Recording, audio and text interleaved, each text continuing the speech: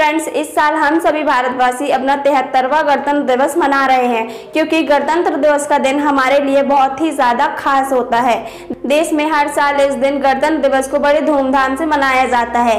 लेकिन क्या आपने कभी सोचा है कि 26 जनवरी के दिन ही गणतंत्र दिवस क्यों मनाया जाता है? आखिर ये तारीख इतनी खास क्यों है? नहीं तो चलिए जानते हैं कि 26 जनवरी के दिन ही गणतंत्र दिवस क्यों मनाया जाता है।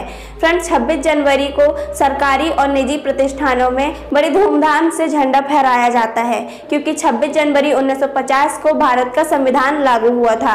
लेकिन वैसे तो 26 जनवरी उन्नीस को संविधान सभा ने इसे अपनाया था, लेकिन 26 जनवरी 1950 को इसे लागू करके गणतंत्र दिवस घोषित किया गया था। लेकिन इसकी वजह क्या थी, चलिए जानते हैं।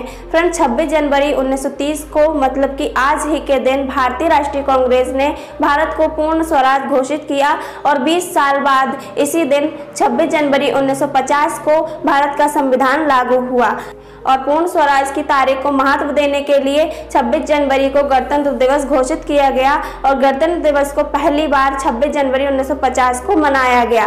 इस दिन भारत के पहले राष्ट्रपति डॉक्टर राजेंद्र प्रसाद जी ने 21 तोपों को सलामी देकर झंडा फहराया था और तभी से 26 जनवरी के दिन ही गणतंत्र दिवस मनाया जाता है। तो फ्रेंड्स, आपको मेरी वीडियो कैसी लगी कमेंट करके ज़रूर बताइएगा और चैनल को सब्सक्राइब एंड लाइक ज़रूर करिएगा। Thank you